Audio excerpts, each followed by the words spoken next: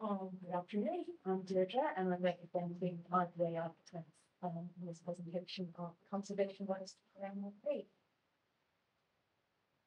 So Prahran Arcade, um, which is included in the Victorian Mountain Campus, is located on Chapel Street. And just here in between Barnes Commercial Street in between um High Street to the south and Malvern Road just to the north, just there. It's designed by local architect George McMullen and instructed by his older brother James.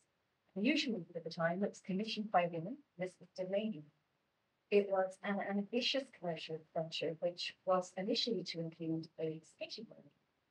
This, however, was quickly badly managed out of the project and instead a residential development.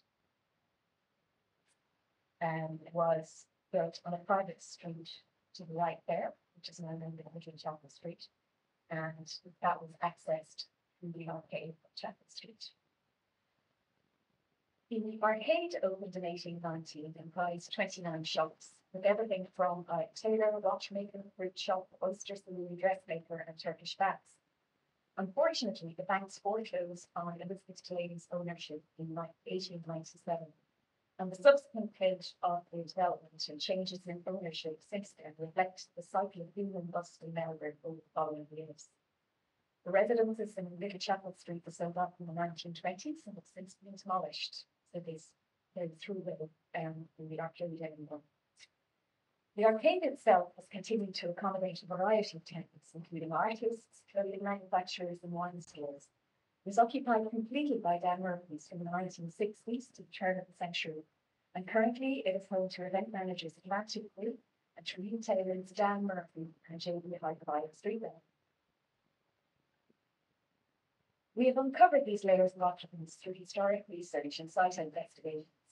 We can see the evolution from relatively restrained painted signage through to mounted signage consistent with continued commercial use of the building.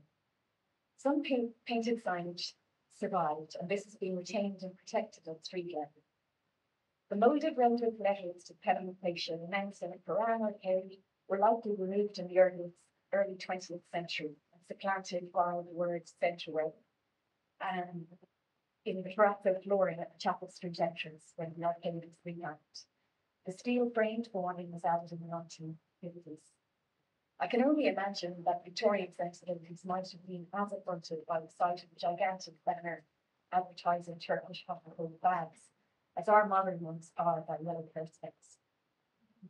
RBA's involvement with Prahran Arcade began in 2015, working with the current owners as heritage consultants in relation to fit out works for the various tenancy spaces.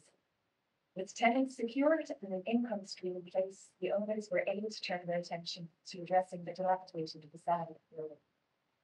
RBA's architectural conservation team carried out a condition survey of the facade in late 2018, and works by a date of expiration began in 2021. The facade was in very poor condition, with multiple layers of coatings flaking and peeling off, lichen, moss, and various weeds with thriving on and legends along with an accumulation of and water and other pollutions. Severe structural problems included the detachment of the Chapel Street facade from the bottom of the building. There was also substantial cracking, falling, detachment, flash, and believed rendered in the smoke. It was apparent that metal sections embedded behind the render were corroding, expanding, and causing damage to the surrounding brickwork and render. Pressed cement decorative elements, including spandrel panels, pilasters, capitals, and sculptural elements such as the Efriteria, were damaged and missing pieces, and one of the peoples was missing a building.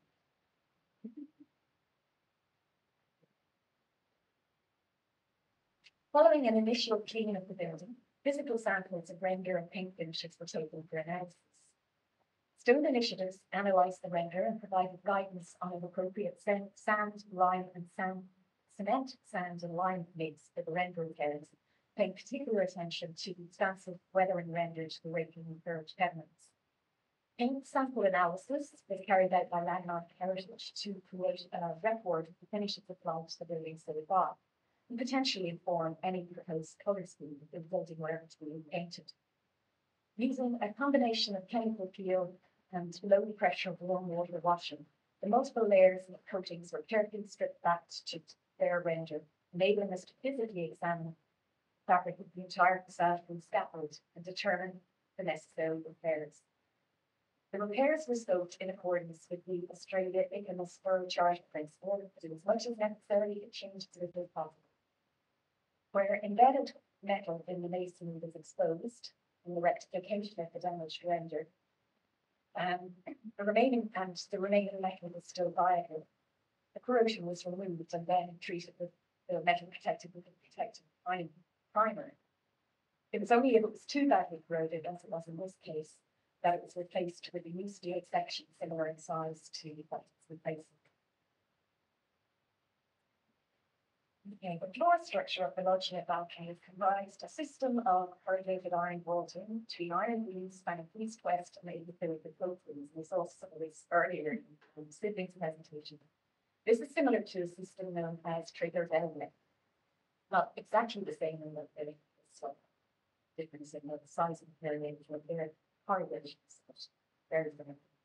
This flooring system is finished with a bitumen of concrete um, screed floors and the soffits were lined with um, a shellac coated timber panel.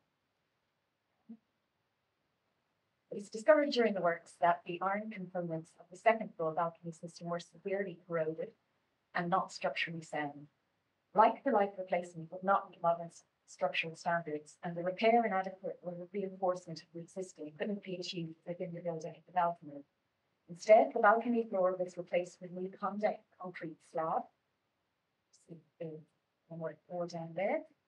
And the overall depth of the structure is comparable with that of the existing and has allowed us to reinstate the timber seam to the first floor balcony and the deck to the second floor at their original levels. What okay. uh, while discovery of this latent transition was disruptive to the works and an unanticipated extra costs, this presented an opportunity with a new concrete deck to tie the facade back to the main structure with no visible impact, rather than the solution which we originally documented, have resulted from visible tie rods across the uh, balconies there. Press cement decorative elements were repaired and missing components were recast from Rhodes remnant originals.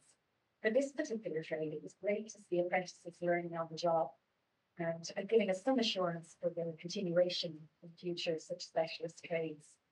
A traditional skim coat render finish with oxide pigments echoing the soft tones of the original colour scheme was applied, and the application of colour matched mineral silicate paint to press cement elements completed the conservation works. To finish, I'll touch briefly again on the police signage. And just thinking through there, let's see that we use photogrammetry to um, windows. And that's the finished outcome there. It's quite like a more aggressive